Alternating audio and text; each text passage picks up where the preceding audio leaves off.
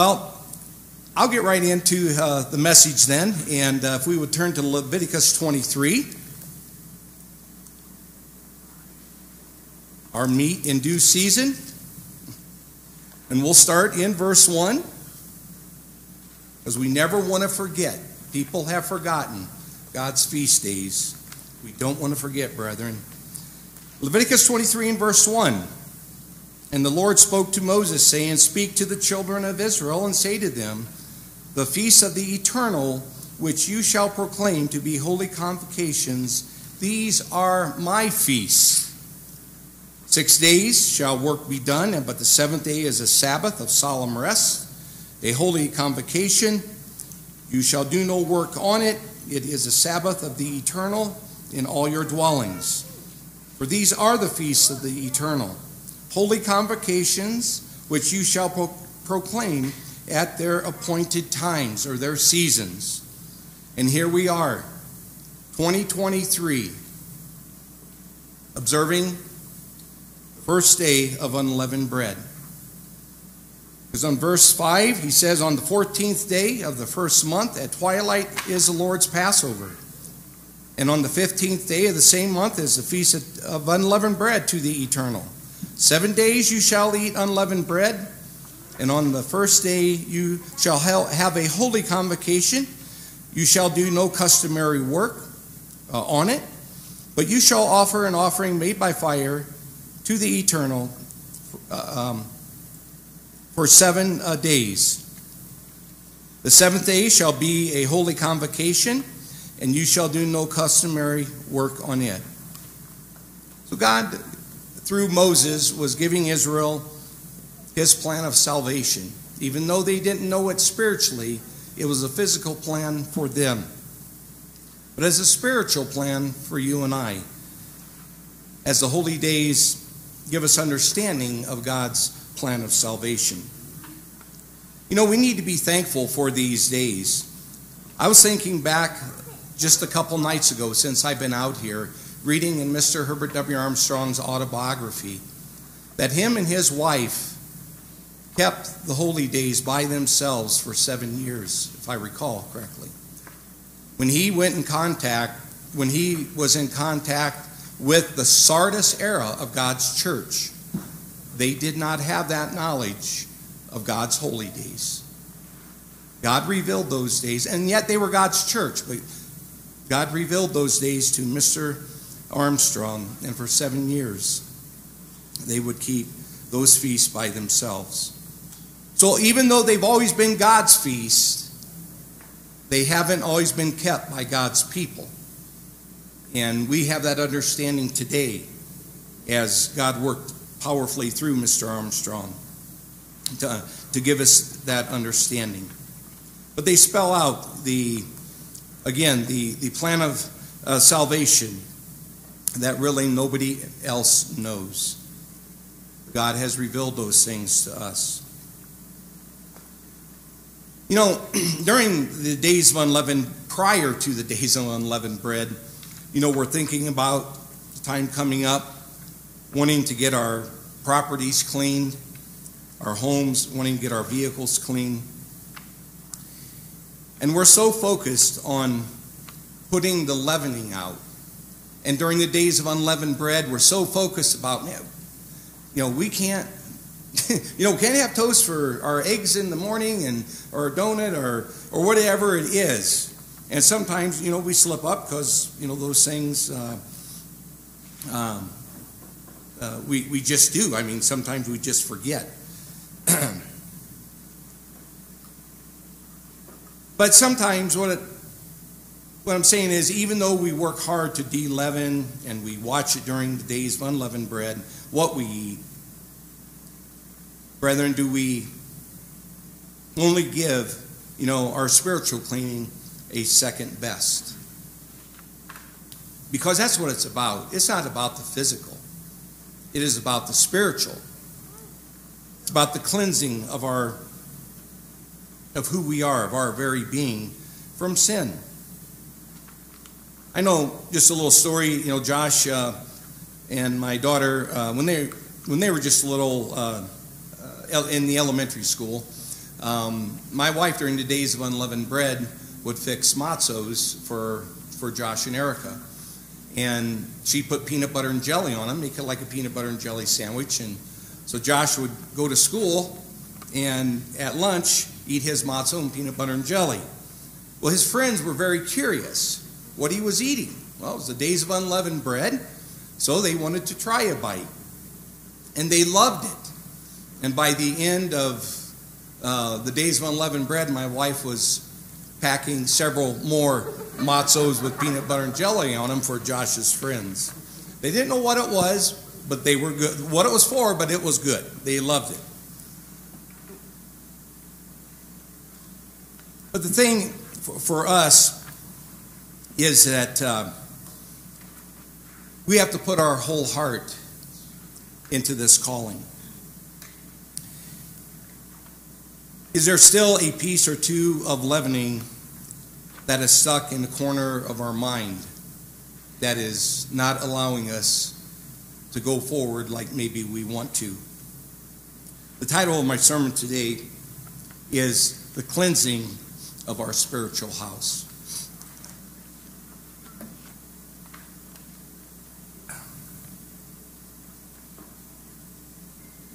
You know, every day, but especially during the days of unleavened bread, I mean, we, let's face it, we do try harder. We, we, um, we want to please God. And so we, we want to put forth our best effort.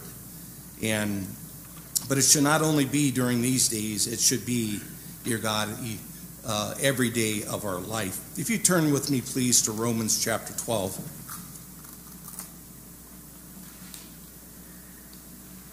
Romans chapter 12, in verse 1.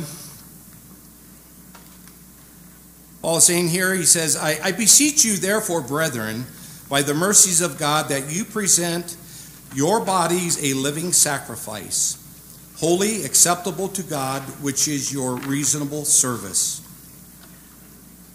Our goal, brethren, should be every day, should be that we are a living sacrifice, that we present ourselves to God, a living sacrifice, something that is holy and acceptable to God. That is what ultimately, you know, we where we want to be in our life, in our spiritual life. If you would uh, turn with me to John, please. Uh, we went over these some uh, the other night in Passover service. John chapter 14.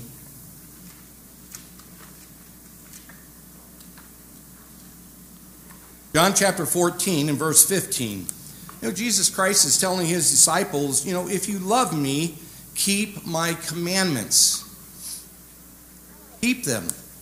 Do our best to obey. Do our best to, you know, again, love him, love the commandments of God. They give us peace and life. The rewards of keeping God's commandment are far exceeding of anything else that we could ever gain in our physical life. In verse 21 of uh, uh, chapter 14, and he who has my commandments and keeps them, it is he who loves me, and he who loves me will be loved by my Father, and I will love him and manifest myself to him. So, you know, Christ is saying that, you know, if you keep my commandments, you love me. You know, we, we want to please God again and, and love God, love the Father, love Jesus Christ, the plan of salvation that is being offered to us. And and he's saying that, you know, he any, that he who loves me or Christ, he said that um, you know the Father will love him too. So it's it's both. It's uh, you know uh, the Father and our Savior Jesus Christ, that we are to love, that we are to keep His commandments. You know, this life is, is not always easy. Um, you know, we go through the difficult times and uh, and we, we I mean it's it varies so much, you know, in, in our day-to-day life of the difficult uh, trials and tests that we go through. but again, Christ said in verse 17, or chapter 17 of John. Chapter 17 of John, start in verse 14. Christ's final prayer, his last prayer to his father, he says, I have given them your word, and the world has hated them because they are not of the world, just as I am not of the world. I do not pray that you should take them out of the world, but that you should keep them from the evil one. So the world hates us because we live the way of God. They don't understand. They, they don't uh, comprehend what this is all about. And we see in our society that it's waxing and growing worse. In our times of trouble, no doubt, well, can, they will uh, continue to grow. Um, but we are not to be involved in the world. You know, we have to live in the world. We have to make a living. We, we got to live our lives, but not to be involved in the practices of the world. As we know that is in Galatians, the works of the flesh. Galatians chapter 5 and verse, uh, uh, verses 19 there. So we, again, are not to be of the world, distance ourselves, to be a living sacrifice, holy and acceptable before God every day. But during these days of unleavened bread, because I've been struggling a little, not, not during the days, but just a little bit in life, uh, in dealing with other people. And I look at myself and I ask, you know, how, how am I doing? Is there something that is holding me back? Is there a piece of that sin that is still there in me? And what I'm talking about is um, sometimes when I see people go by, if we're in the fields, and those people have offended, they have maliciously uh, uh, defamed us, defamation. You know, thoughts start to arise about being vengeful. You know, well, I'd, I'd love to get back at them. you know, I would love to, for them to go through the same thing that they have caused us to go through. But that is wrong. Have I truly forgiven them? Have I truly searched in my mind and my heart? Have I dug down in my heart to forgive them? I'd like to tell a story about a, a young man. I'm going to call his name Brett. He lived in a very and grew up in a very dysfunctional home. He, uh, his mom would leave at about the age of 10 because of the abuse of the father. And during the course of Brett's upbringing, um, it would be it would be pretty brutal. He would describe his dad as a monster. But yet, he tried to please his dad. And as he grew up and he was in high school and he was at football practice and you know he came down afterward or you know he came home afterwards his dad asked how practice went and said yeah it went pretty good and you know i was running the ball today and dad asked him, how many, how many guys did it take to bring you down? And he said, well, one. Kind of snickered, dad snickered and said, well, took three to bring me down. Brett could never live up to the standards or the expectations of his dad. So the next day, or the next time he went to football practice, he thought, I'm going to give it my all. Brett did. And so he did. And so he went in there and he just rammed and, you know, he's running the ball and just went with all of his might. And he went down and injured his knee. And when they went to the hospital and they diagnosed what he had, his football days were done. He was trying to please dad, and yet he himself he injures himself.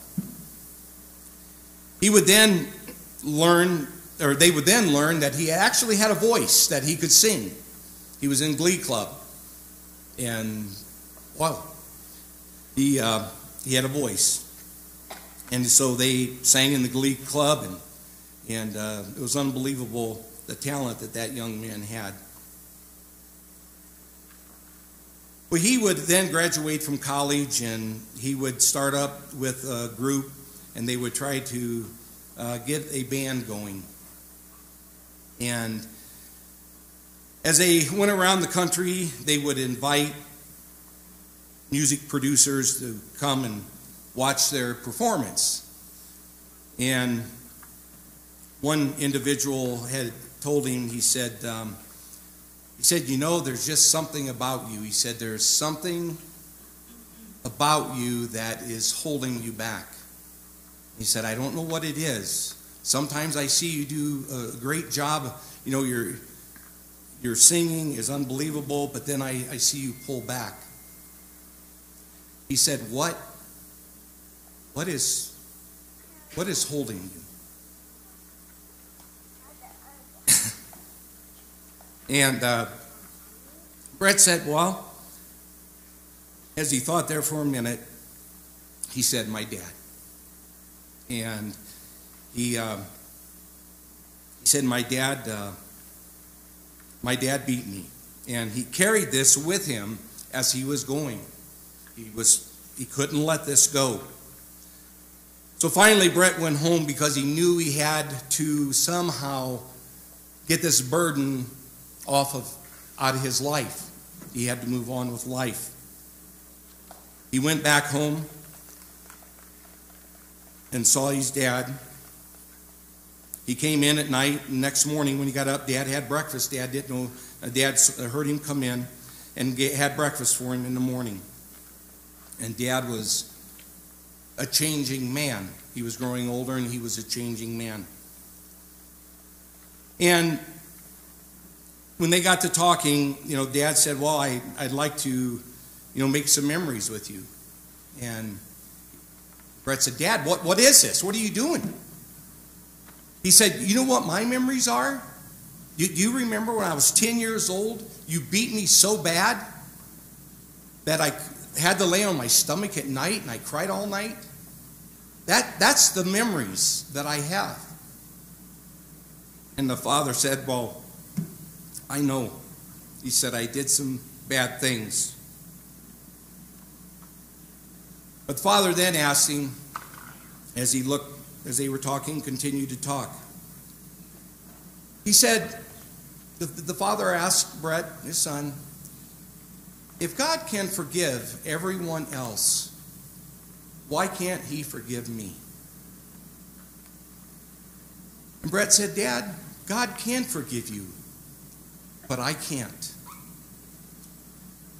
And uh, that struck a chord with me about forgiveness. And can we forgive when we are hurt, when we go through instances in our life? Can we forgive? The other night, we just went through the greatest act of love and forgiveness ever given to mankind when we partook of the, of the body and the blood of Jesus Christ his love for us, that forgiveness, unconditional forgiveness that they gave, that he gave to us, him and the Father.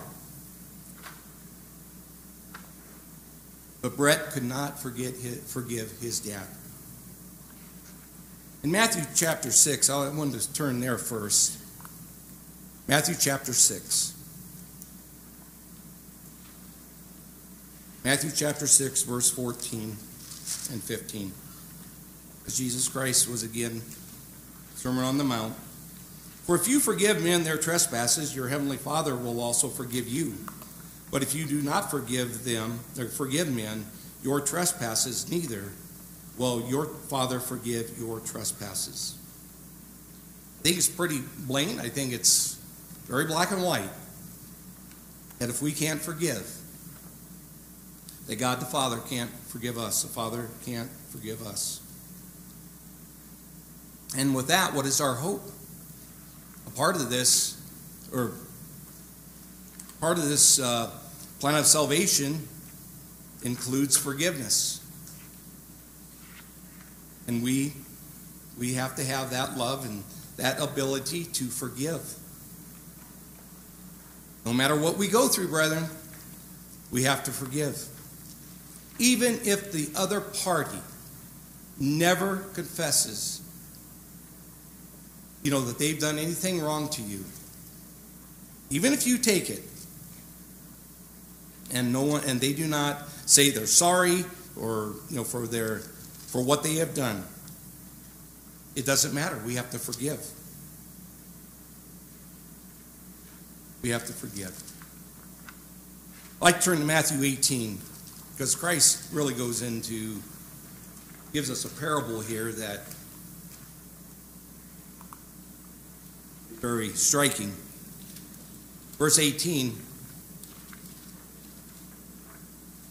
or chapter 18, I'd like to start in verse 21. Where, for uh, where there two or three are gathered together in my name, you know, I am in the midst of them. Then Peter said to him, or came to him and said, Lord, how often shall my brother sin against me and I forgive? Up to seven times? And Jesus said to him, I do not uh, say to you up to seven times, but up to seventy times seven. Therefore, the kingdom of heaven is like a certain king who wanted to settle accounts with his servants. And when he had begun to settle accounts, he was brought to him, who owed him 10,000 talents. But as he was not able to pay, his master commanded that he uh, be sold with his wife and children and all that he had, and that payment be made. He was demanding payment be made because it was owed to him. Verse 26 The servant therefore fell down before him, saying, Master, have patience with me, and I will pay all. Then the master of that servant was moved with compassion, released him, and forgave him the debt. Forgave the debt. He, he didn't ask him, he didn't put him on a time uh, monthly uh, uh, monthly payments. he, uh, he forgave, forgave the debt. He absorbed that, forgave it. He moved with compassion.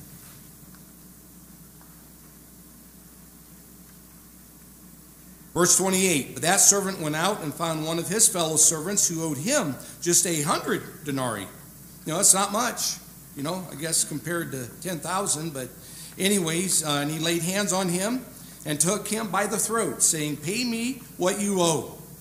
So his fellow servant uh, fell down at his feet and begged him, saying, have patience with me, and I will pay you all. And he would not. There was no mercy or forgiveness extended to him. But he went and threw him into prison until he should pay the debt. So when his fellow servants saw that he, what he had done, they were very grieved and came and told their master all that had been done. Then his master, after he had called him and said, You know, you wicked servant, you know, I forgave you all that debt because you begged me. Should you not also have compassion on your fellow servant, just as I had pity on you?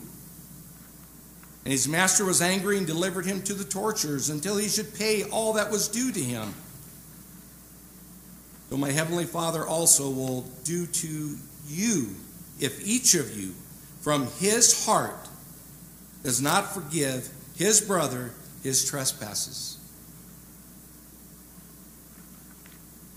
Very stern parable here, warning to us that as Jesus Christ came to give his life, to shed his blood, to be beaten, to be bludgeoned, to bore our sins, to bear our sins,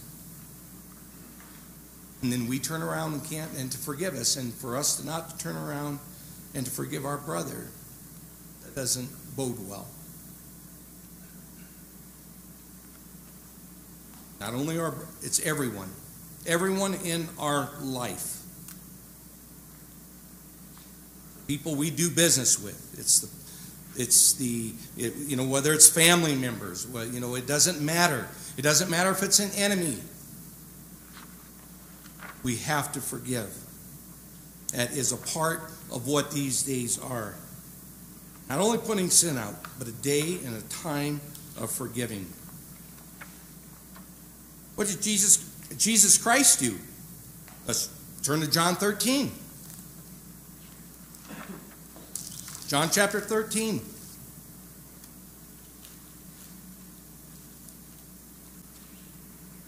Start in verse 1. We did this the other evening. Now, before the feast of the Passover, when Jesus knew that his hour had come that he should not depart from this world to the fa- uh, that he should depart from this world to the Father, having loved his own who were in the world, he loved them to the end. And supper being ended, the devil already put it into the heart of Judas Iscariot, Simon's son, to betray him. And Jesus, knowing that the Father had given all things into his hands, and that he had come from God and was going to God, he rose from supper and laid aside his garments. He took a towel, he girded himself. After that, he poured water into a basin and began to wash the disciples' feet and to wipe them with the towel with which he was girded.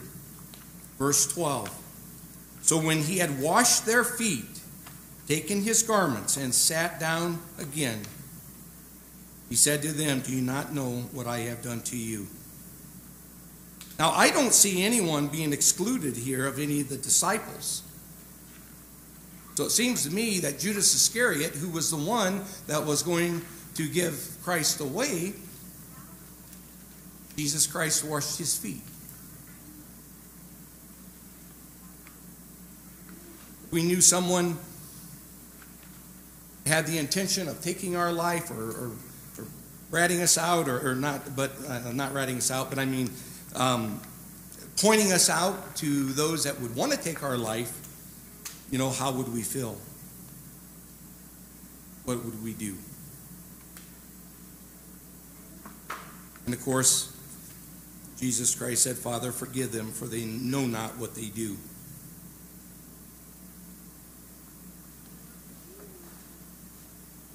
In 1 Peter chapter 3, I'm going to go to Rome, excuse me. Let's go to Romans 12 first, please. Romans chapter 12, verse 17.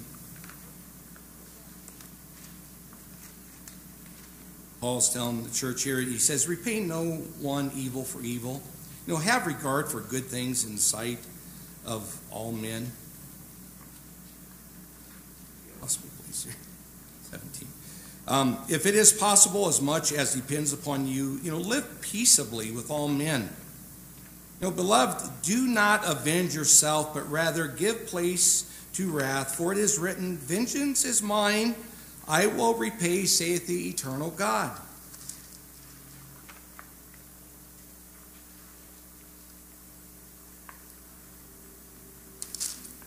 Therefore, if your enemy is hungry, feed him. If he is thirsty, give him drink. For in so doing, you will keep uh, you will heap coals of fire on his head.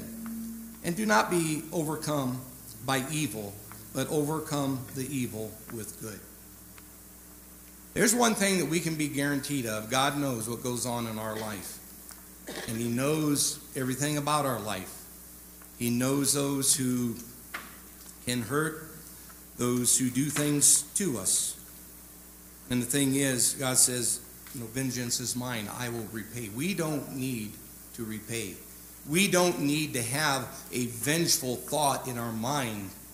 And, it, and it's hard. I sit up here and say this it's hard. But during the days of unleavened bread, we realize that we, we are stifled in our Christian life if we can't move forward in forgiving. We have to. Now in 1 Peter chapter 3.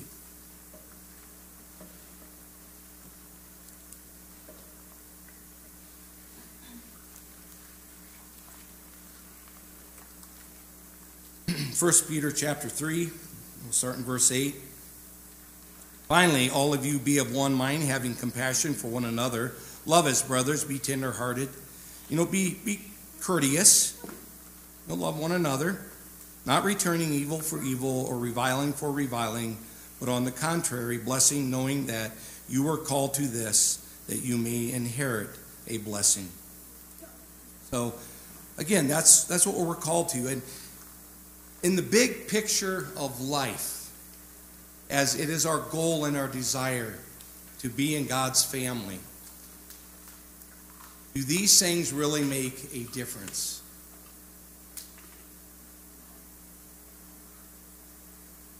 They honestly, they don't.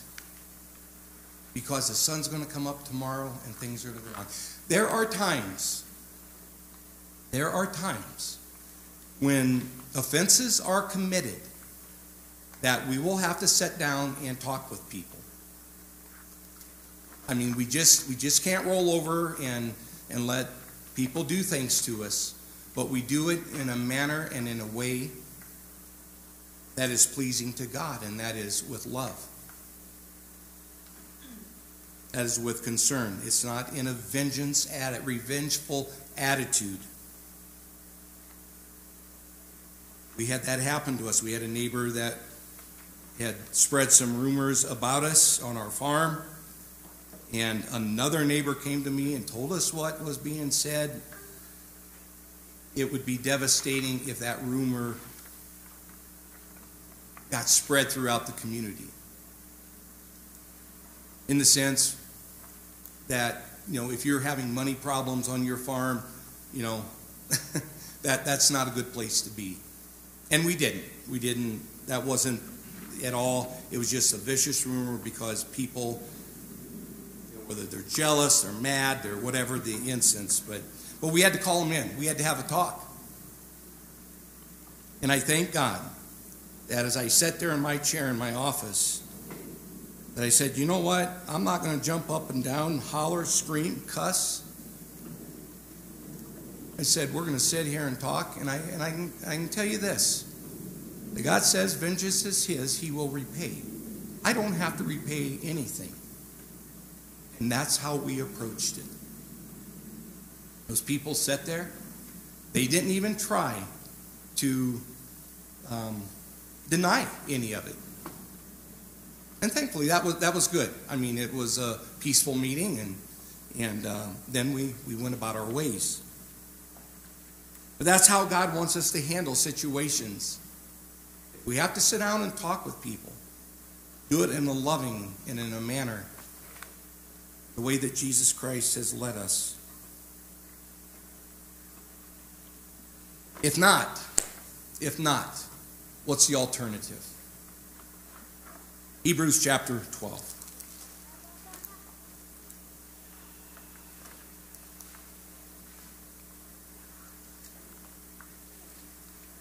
Hebrews chapter 12, verse 14.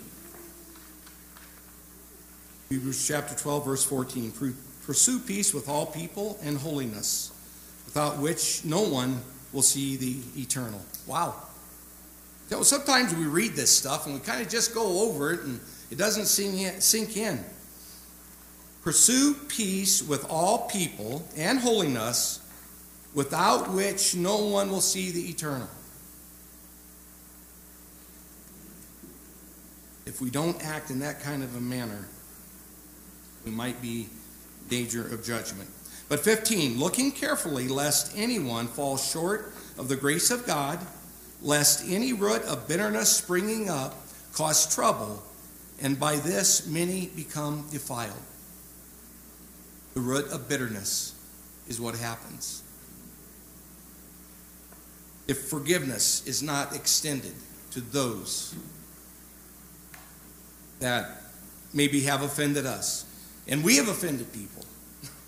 I mean, I'm not going to stand up here and tell you I'm Mr. Clean.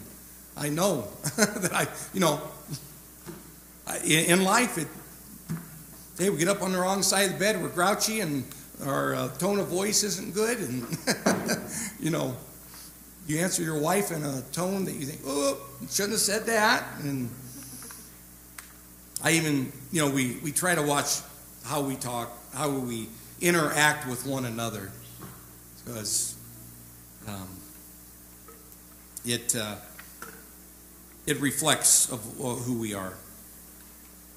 In James, while we're this close, let's turn over to James. James chapter 3. James chapter 3, verse, uh, verse uh, 13. Um, who is wise and understanding among you? Let him show by good conduct that his works are done in the meekness of wisdom. But if you have bitter envy and self seeking in your hearts, do not boast and lie against truth. Because this wisdom does not descend from above, but is earthly, sensual, and demonic. Where, for where envy and self seeking exist, confusion and everything are there. So here we are again instructing about the bitterness and, and the envy, the self seeking, the self serving, you know, uh, that, that there is, that could um, be a little bit a part of who we are, what's in us. That we are not to have that. It's not, it's not from God. It is earthly. It's demonic. And, you know, we need to uh, need to rid ourselves of that kind of conduct. Sorry, I'm not used to this dry air out west. in the Midwest, where we have a lot of humidity, uh, but um, it's uh, dry air. Dry. My throat is dry, so please excuse me. So, you know, I have talked. Uh, I've talked before about um, the twin girls that uh, survived Auschwitz, uh, Eva Moses Kor, and uh, she writes uh, here what it was for her. You know, it, in 1995, she had met a Nazi doctor who was at Auschwitz at the same time she was at the same time she was at the camp as a little girl. She was in the uh, Auschwitz concentration camp, her and her sister, because they were twins. Dr. Mengele uh, was the doctor that did experimental uh, studies on twins at that time, back in World War II. Anyways, he had told her one of his responsibilities was signing the collective death certificates for those who died in the gas chamber. There were no names, just the number who had died in each successive gassing. How sad. He said the twin experimentation was top secret and he knew nothing about it. But when she had asked him about how the gas chambers operated, he replied, this is the nightmare I live with every day of my life. She asked him to go to Auschwitz with her and sign a declaration about what he told her. He did. He relented, and he did. There must have been a little humanity left in the guy. And after she returned to her current home there in Indiana, she pondered how to thank him. For 10 months, she wondered how to send a thank you gift to a Nazi. And even she even visited a, a Hallmark store and futilely looked at the thank you cards for more than several hours. How do you how do you thank a Nazi? I do not know, Kor, uh, Eva said. Then she said it popped into her head. She would write him a letter of forgiveness. I discovered that I had one power left in my life. I could forgive the Nazi for what the Nazis for what they did to me. It took her 4 months to write that letter. But she goes on to write, I felt much such freedom. She said, I was no longer a tragic prisoner. I was free of Auschwitz and I was free of Dr. Mengele. Forgiveness is the seed of peace, she writes. But she freely admits it took her five decades, five decades, that she was bitter for what happened to her. She wanted to seek revenge and, and put and, and, and make those who who did those awful things to her suffer the way that she had suffered. And so she said, You know, I, I would have had that 50 years of my life if she would have give, forgiven, you know, back way back when. Took her a while to learn that. Forgive, see the miracles that can happen. The thing is, as we think that we want to get revenge, in all honesty, if we do, would get revenge in some way, it's still not going to take away the pain that has been caused. It's still within us. So that's why revenge and being vengeful is not the answer. Being unforgiving isn't the answer. It's being set free by the fact that we forgive and we love one another. And God teaches us that. Jesus Christ set us that example.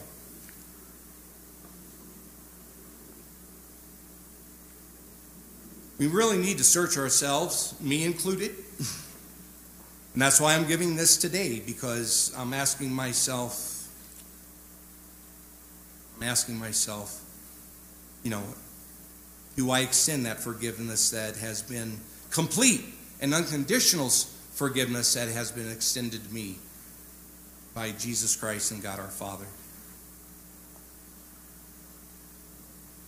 We need to ask God to reveal our own uh, way, you know, reveal the things you know, that are wrong with us. In Psalms 19, let's turn to Psalms 19.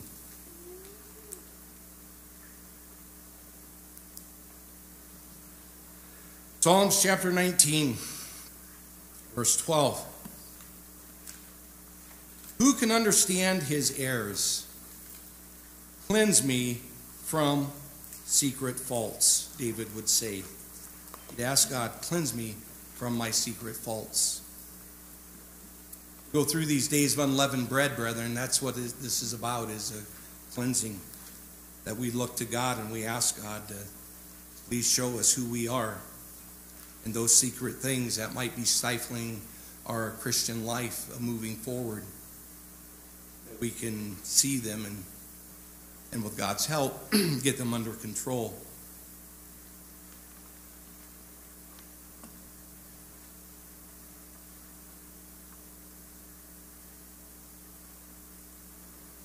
being unable maybe to forgive, there is a cause for that. And that is, is pride. No, pride is, a, is an awful thing, brethren. Uh, it's all about self, it's all about me. And as we look at Proverbs Proverbs chapter 6, Proverbs chapter 6.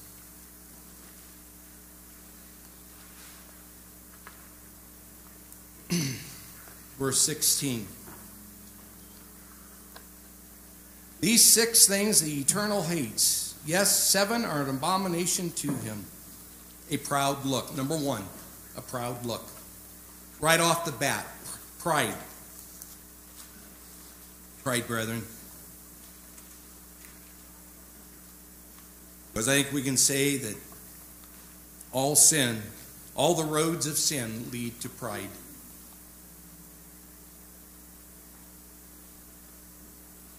Ezekiel 28, I'd like to read where all this stems from, as we know. Chapter 28. We'll start in verse 11. Moreover, the word of the Eternal came to me, saying, Son of man, take up a lamentation for the king of Tyre, and say to him, Thus says the Eternal, uh, the Eternal God. You know, you were the seal of perfection, full of wisdom, and perfect in beauty. You were in Eden, the garden of God. Every precious stone was your covering. You know, God dressed him up and you know wonderful and beautiful things the sardius, topaz diamond the beryl the onyx and the jasper sapphire the turquoise emerald with gold you know the workmanship of your timbrels and pipes what was prepared for you on the day that you were created you know you were anointed cherub who covers i established you you were on the holy mountain of God. You walked back and forth in the midst of fiery stones. You're in the stars. You were perfect in your ways from the day that you were created. Until, or till, iniquity or lawlessness was found in you. By the abundance of your trading, you became filled with violence within. And you sinned. Therefore, I cast you as a profane thing out of the mountain of God, and I destroyed you, O covering cherub, from the midst of the fiery stones. And what was it? Your heart was lifted up because of your beauty. You corrupted your wisdom for the sake of your splendor. So here it is that God created such a beautiful angel, Lucifer. That there were so many things that, that he could have done, could have used for good.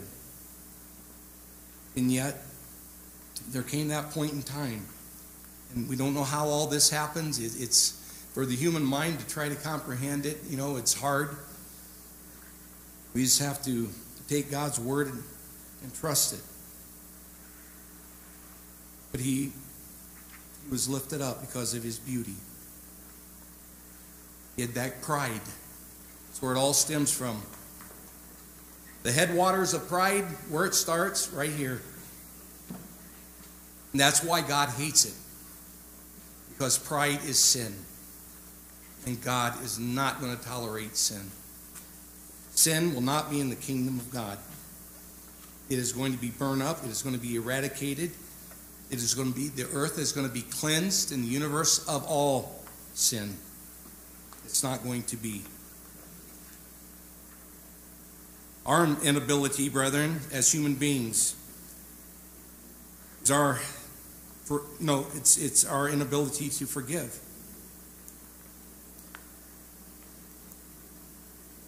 And even though a person like Eva forgave, you know, it's a physical forgiveness, and, and that's good. That, that's good that that can happen.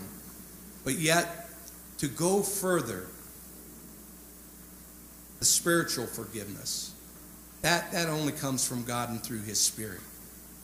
That we can love as God loves and forgive as God forgives and put it behind us.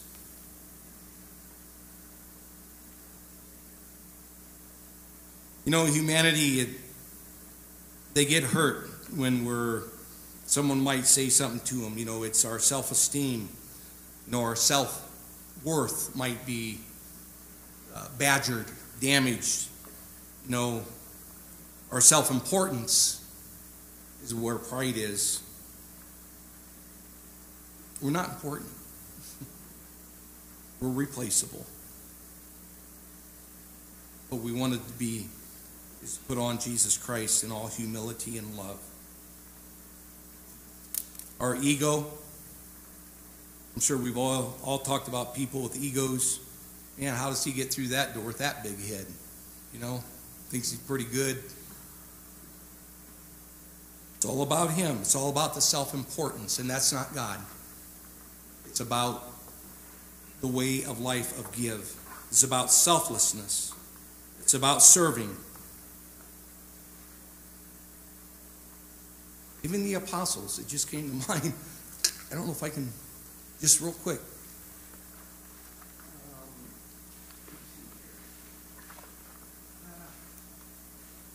Brought it up, now I.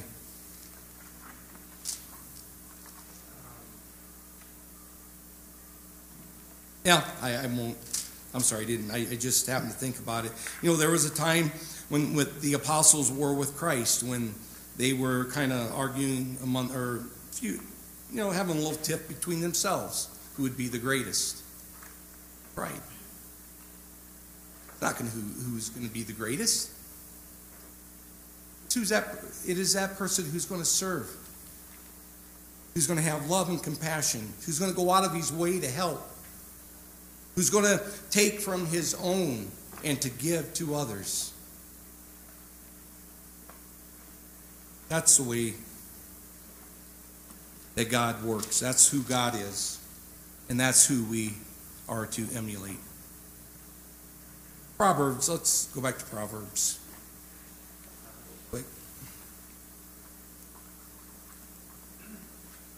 Proverbs chapter 8. Again, a little bit about pride.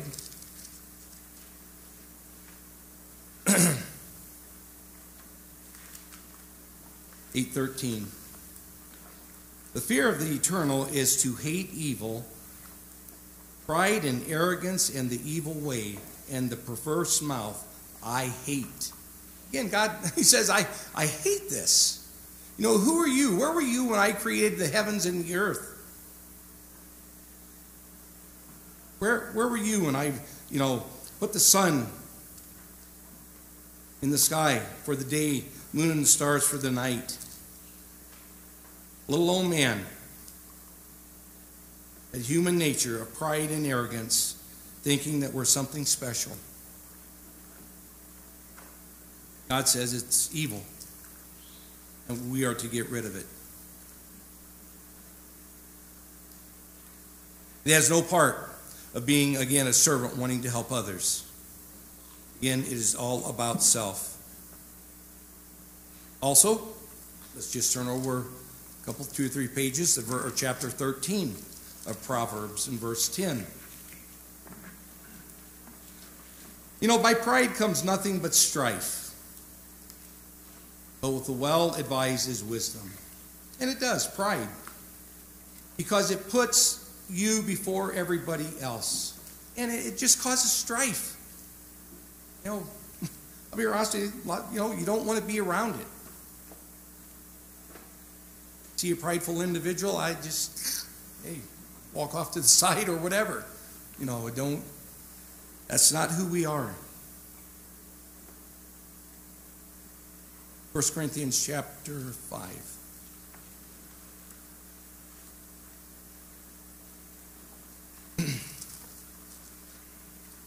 Start in verse 1, 1 Corinthians chapter 5, start in verse 1. Here it is, you know, the church puffed up, full of pride. It is actually uh, reported that there is sexual immor- uh, immorality among you, and, su- and such sexual immorality is not even named among the Gentiles, that a man has his father's uh, wife, and you are puffed up. You, know, you you have vanity. You have this, this pride about it.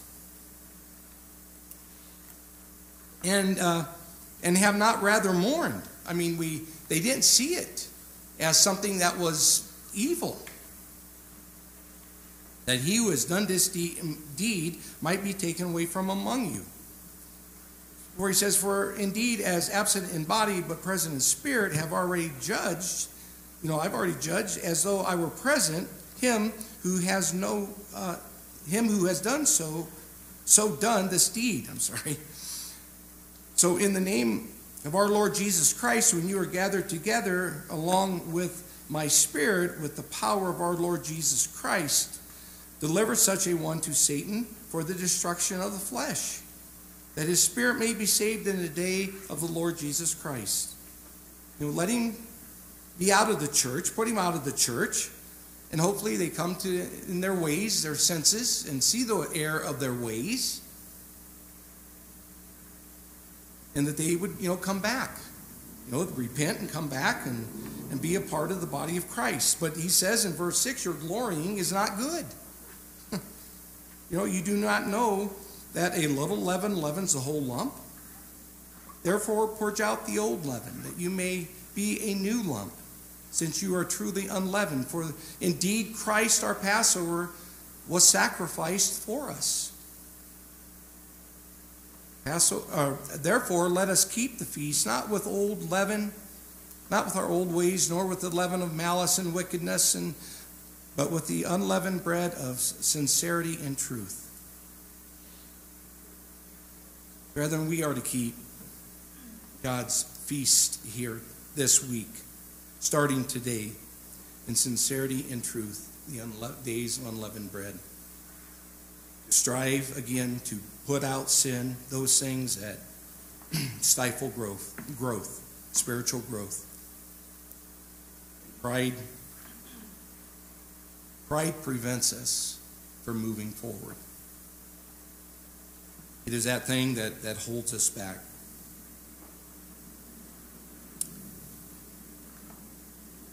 In Proverbs, uh, let's go back to uh, verse 16.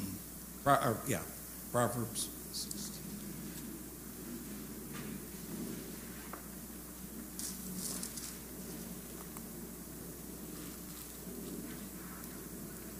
Proverbs chapter, in tongue tied here, 16, chapter 16, verse 18.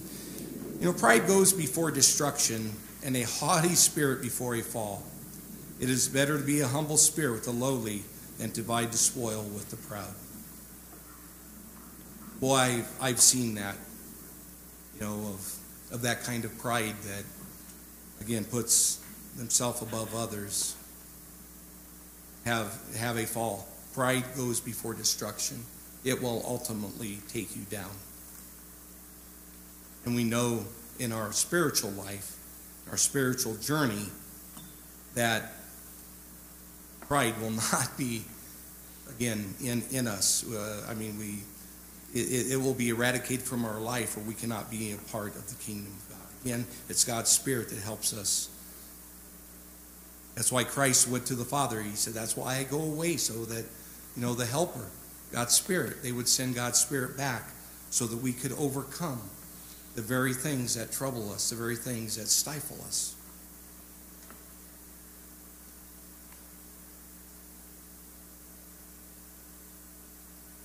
Mark chapter 7. Oh, Mark chapter 7.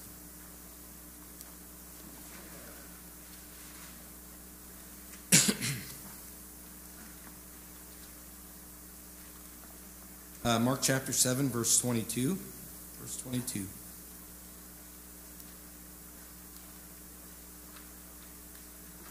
Or verse 21. For when out of the heart of man of men proceed evil thoughts, adulterous, fornication, uh, murders, thefts, covetousness, wickedness, deceit, lewdness, and an evil eye, blasphemy, pride, and foolishness. You see where pride is at? It's in that group of the works of the flesh. And that works of the flesh, again, um, we, we have to, we have to uh, get out of our lives. We've got to put out of our lives. For all these things, for all these evil things come from within and defile. Amen.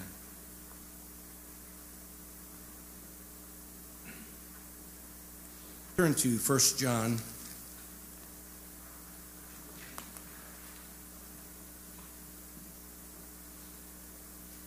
1 John chapter 2.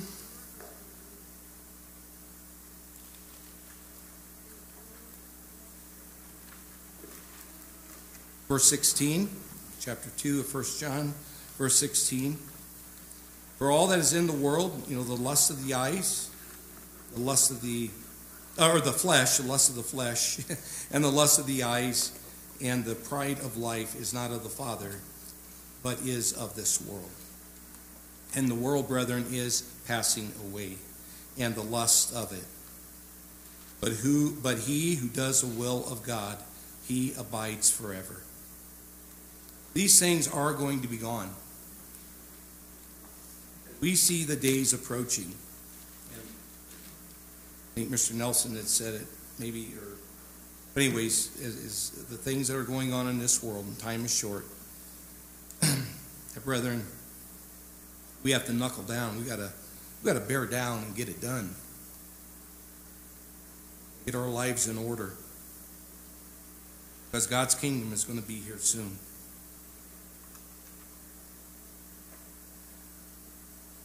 God can't work with a prideful person. Pride stands in the way of our relationship with God. Then what is God looking for? How? we move forward in our life? Well, it's very simple. God tells us what he's looking for in Isaiah chapter 66. Isaiah chapter 66, verse 1. Know, heaven is my throne and the earth is my footstool. Where is the house that you will build me? And where is the place of my rest? For all those things my hand has made. You know, People want build God. God owns everything. God doesn't need a house. He, the earth, or the, um, the universe is His. For all these things my hand has made, and all these things exist, says the eternal. But what doesn't exist? really, if you look at it, as he says all these things exist, But on this one will I look on him who is a who is poor and a contrite spirit, and who trembles at my word. That is who God's looking for. Someone full of humility, someone that is teachable. You know, all these other things exist, but this, you know, in us. And this is what we have to develop. This is a part of the character that we are developing. To be full of humility. God can work with that because we're willing to do whatever God asks. He doesn't have to, you know, beg or, or, or spank us or, or whatever. It's something that we want to do. We want to please God. We want to become like Him. We want to be teachable. We want to respect His word, to tremble at it. That is who God is looking for. That is the person who is a living sacrifice every day. That kind of person. There is no sin in humility. It's about esteeming others before ourselves. You know, God doesn't want sacrifice. You know, He's always wanted a heart that, that He could work with, a people that He could trust, people that would love Him as much as He loved them, a people that would interact with Him in His holy and righteous commandments, in His laws, and those things. That's what God's looking for. And, brethren, that's where we need to be. That's where we ultimately need to land.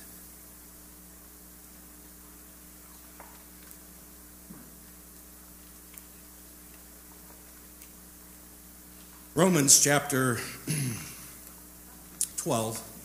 Romans chapter 12.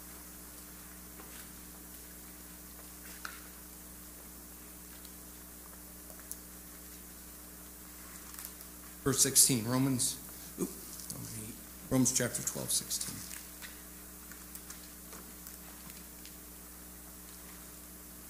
Be of the same mind toward one another.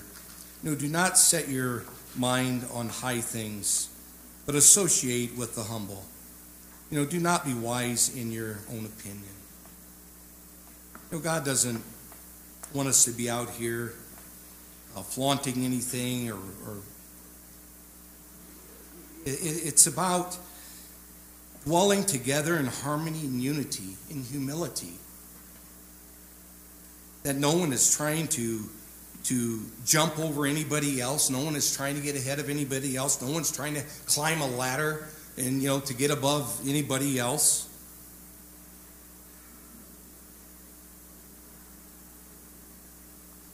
We are to be humble associate with the humble.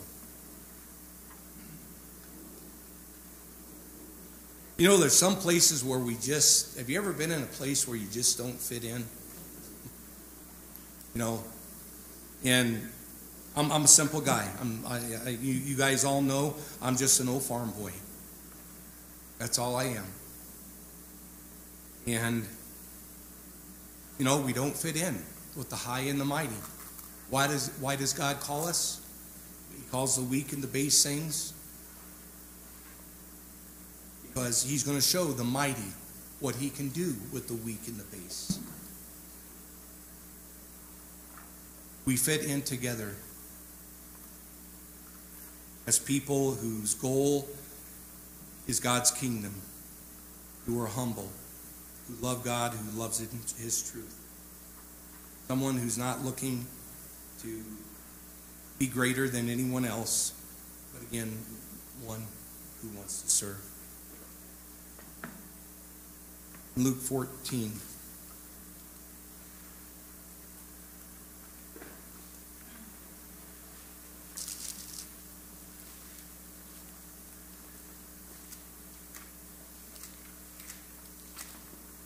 Luke chapter 14, verse, verse 11.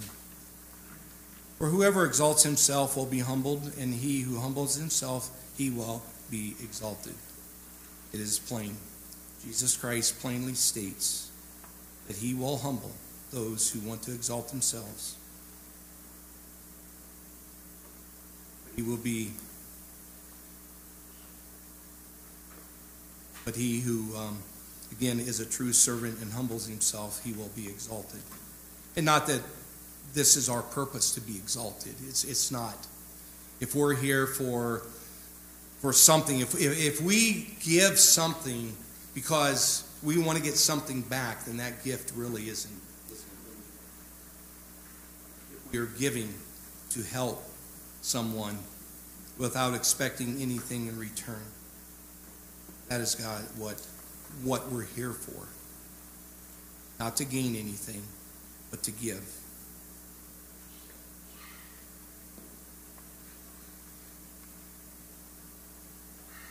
You know, during, again, the, the days of unleavened bread here, the hard work, again, isn't cleaning our homes as much as it is cleaning ourselves. That's the hardest part. Physical things are can be simple. You know, we can make those things happen, right? We can work extra hours. We can do whatever we need to do, or get equipment and do whatever we, you know, need to do.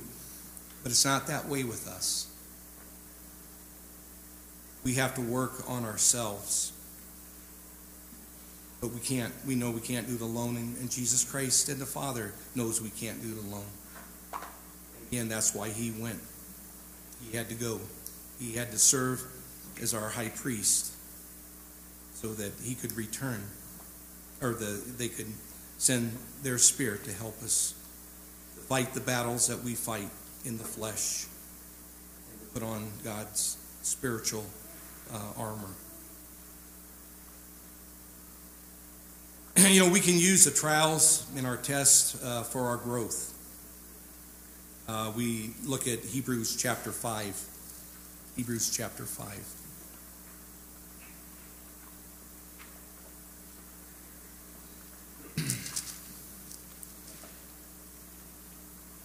Verse 8 Hebrews chapter 5, verse 8. Though he was a son, yet he learned obedience by the things in which he suffered. I hope that we can see that the trials that are set before us, they can be advantageous to us in our spiritual growth. When Christ talks about the vine and pruning the vine, those are acts of pruning when trials do come our way. They are there for us to grow, to develop that character. They are not for negativity, they are not to, to be down about. They are for us to look at it and say, where can I go? What can I do with this to become a better person? How can I become a better person? By the things that are in our daily life that we go through. And if that's a person that offends us, forgive. It's the hardest thing, though, the human nature, not wanting to forgive. I talked about the story of, of Brett there and his dad.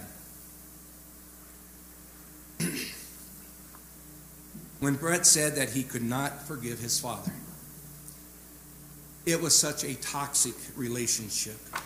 The bruises, the cuts ran so deep. He was scarred from all the mental and the physical abuse that he just couldn't forgive his dad. Brett would run out of the house. He, he said, Why did I bother coming back?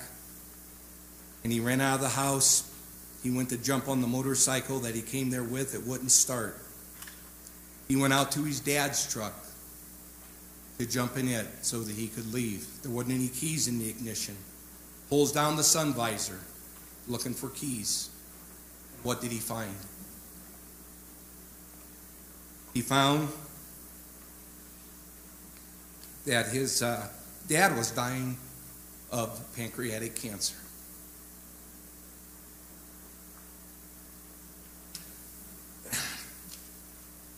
So he went back in the house and asked his dad, Dad, are you dying? And he said, Yes. He said, Are you dying? Brett then went up to the attic where his mother dropped him off when he was 10 years old as she was leaving. She was re, uh, leaving the relationship. Dropped him off at a church camp. And Brett there